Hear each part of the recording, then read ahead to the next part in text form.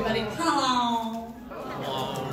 I want to tell you the story, the origin of the Star Spangled Banner. You all heard the song. Three times England tried to take possession of the American continent. First in the French and Indian War, 1755. Second time, 1755, 1777, and 76.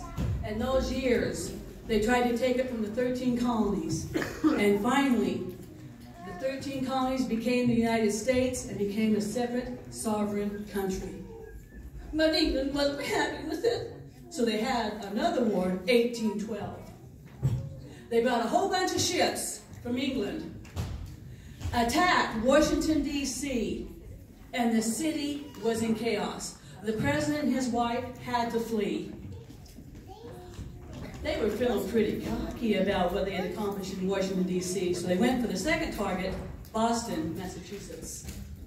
But they had to first get past Fort McHenry. 16 ships with multiple cannons lined up on the shoreline. And during that time, there was a lawyer who was arranging for the negotiation of the swapping of prisoners. Who is it? Scott Key. I keep wanting to call him Lee, but it's Key.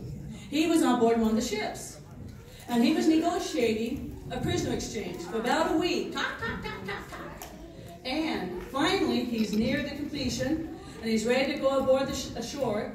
And the colonel of the ship says, You can't go. We're going to attack Fort McHenry. You can't do that. There's over a thousand men, women, children. Their, their families are in the fort.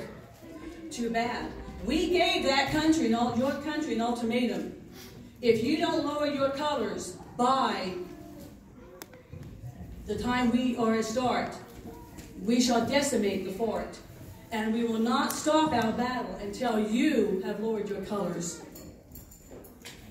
Francis Key paced back and forth the bridge of the of the ship. And the prisoners below, he told them what was going to happen to Fort McHenry and the consequences of the flag when it dropped. That we would no longer be a sovereign country.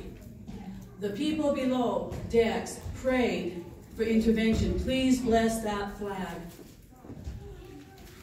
First hour, ba bam, bam, bam. Second hour, ba bam, bam, bam. Everybody. Third hour, ba bam, bam, bam. Come on, bombs. Ba bam, bam, bam. Fourth hour, ba bam, bam, bam. Oh, I've got some good explosions here. Hour five, ba bam, bam, bam. Throughout the hours, hours nine, the next day, the colonel comes to Key and says, We don't understand it. Exactly. After hours and hours concentrating our cannons on that flag, we can't understand. We've had direct hits and that flag's not going down. We don't understand why. Hour eight. the Bam, bam, bam. Nine. Bam, bam, bam. The next day. Bam, bam, bam. Night, day, night, the following morning, the colonel comes to Key. We don't understand it. We've used up our ammunition. We cannot continue the battle. We're going to have to discontinue. Key is finally permitted to go on shore. There's three theories as to why that flag was still there. One is, boy, that fort was sure lucky. The second is that there's some testimonies that say that when Key went into the fort, that at the base of the flagpole were bodies. Patriots, fathers, sons, brothers, that when that flag would fall, they would lift that pole and hold it until the next explosions. And when those people died and dragged away, a new pair of hands, multiple hands lifting on that flagpole. But a lot of people say the flag is too heavy. They wouldn't be able to have the strength to hold a big flagpole like that. The third theory is divine intervention. So the next time you attend a sport event, please consider these words, the history behind these words.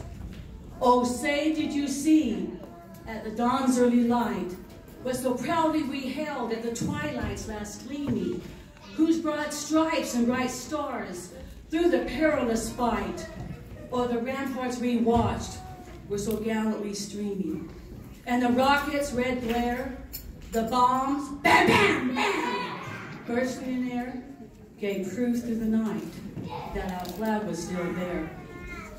Or does that star-spangled banner still wave o'er the land of the free and the home of the brave? That's a question we can ask ourselves, not just physically, but in all aspects. Or does that flag, does that star-spangled banner still wave o'er the land of the free and the home of the brave? Thank you.